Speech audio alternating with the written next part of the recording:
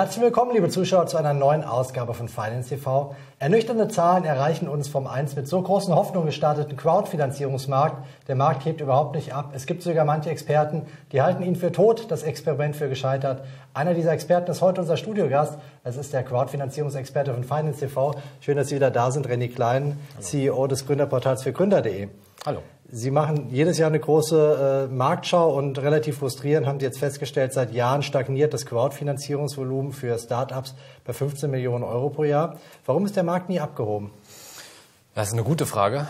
Ähm, äh, das äh, Ernüchternde an der Sache ist, äh, dass es nicht nur vom Volumen her stagniert seit 2013, sondern dass auch die Finanzierungsrunden ähm, kontinuierlich zurückgegangen sind. Also teilweise hat der Markt davon profitiert, dass Finanzierungsrunden größer geworden sind, was grundsätzlich ja positiv ist, aber es gab immer weniger Unternehmen, die sich ähm, über die Crowd finanzieren wollten, beziehungsweise die scheinbar dafür geeignet ähm, erschienen.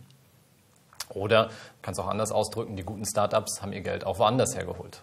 Was hätte man besser machen können? Kann man die Rolle der Plattform sicherlich ähm, mal äh, genauer anschauen, genauso wie das Vertragswerk, also das partiarische Darlehen was für einen Großteil der Crowdfinanzierung genutzt wird, ist einfach wenig attraktiv aus Investorensicht, weil ich gerade als Seed-Investor ähm, gar nicht richtig beteiligt bin an diesem jungen äh, Unternehmen. Ähm, das heißt, ich bin zwar einer der Ersten, der Geld gibt, ähm, werde aber in Zukunft nicht so partizipieren wie eben beispielsweise ein Business Angel, der ähm, ja oftmals eine direkte Beteiligung einfach an dem Startup hält.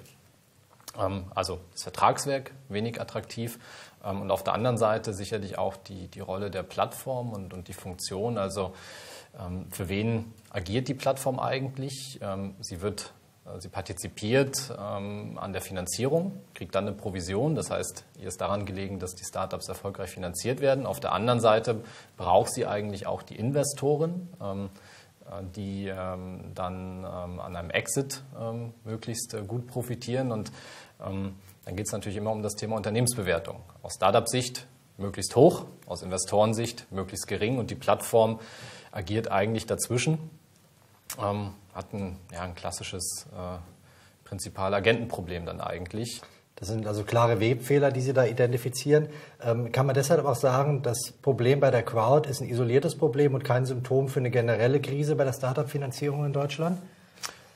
Ja, also ähm, gute Startups ähm, haben in den vergangenen Jahren ähm, ihr Geld eingesammelt. Ähm, sicherlich auch nicht immer einfach, ähm, aber auch zunehmend besser. Also das Thema Business Angel Finanzierung hat kontinuierlich zugelegt. es gibt da auch ein entsprechendes Zuschussprogramm vom Bundesministerium für Wirtschaft.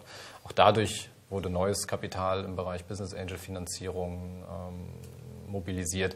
Der Hightech Gründerfonds ist weiterhin sehr aktiv. Ähm, es gibt auch eine Anschlussfinanzierung äh, durch einen neuen Fonds äh, Coparion.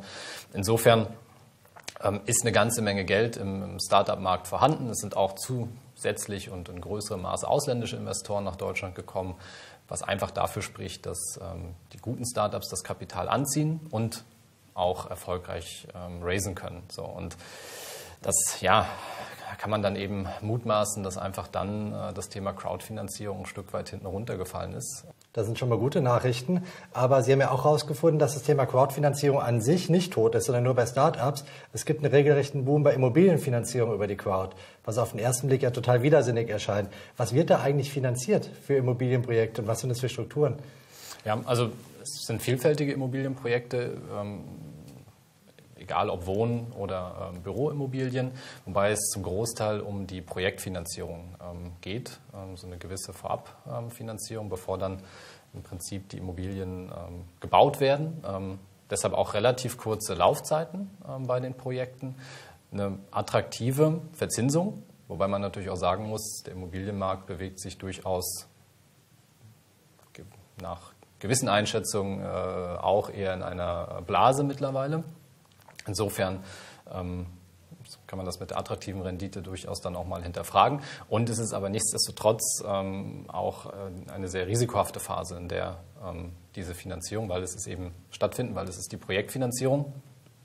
Ähm, sprich, da steht noch nichts ähm, von mhm. dem Haus oftmals. Also auch nicht nachhaltig, oder? Das wird sich zeigen, ähm, wie es mit dem Immobilienmarkt weitergeht Das ist ähnlich wie bei, bei Wohnimmobilien jetzt. Ähm, alle hoffen auf äh, äh vielleicht sinkende Preise, wieder zumindest aus Käufersicht. Ähm, aber momentan geht es ja weiterhin aufwärts. Also insofern wird diese Entwicklung sicherlich noch, noch weiterführen, ein Stück weit. Also auch kein Durchmarsch, keine guten Nachrichten aus der Crowd. Zum Schluss die drei Fragen von Finance TV. Auch für Sie, Herr Klein, mit der Bitte um die ganz kurze Antwort. Mhm. Zunächst eine Ja-Nein-Frage. Läuft die Startup-Finanzierung über die Crowd im Ausland besser als in Deutschland? Gemischt. Die zweite Frage, eine Zahlenfrage bitte. Was für ein jährliches Crowdfinanzierungsvolumen für Startups hätten Sie persönlich am Anfang des Hypes für möglich gehalten? 30 bis 40 Millionen pro Jahr. Und, und die letzte Frage, haben sich viele Geldgeber mit Crowd-Investments die Finger verbrannt oder ist die marktweite Bilanz der Investments okay? Noch nicht. In Zukunft würde ich sagen, ja. Und da kommt das Thema Immobilien wieder ins Spiel, die mögliche Blase. Danke für den Eindruck, äh, René Klein. Danke Ihnen auch fürs Zuschauen. Mal wieder ein bisschen Off-Thema bei Finance TV, aber auch für Sie vielleicht interessant, diesen Markt mal kennenzulernen. Wir wünschen Ihnen viel Spaß in den nächsten Tagen bei der Arbeit. Bis zum nächsten Mal bei Finance TV. Alles Gute und Tschüss.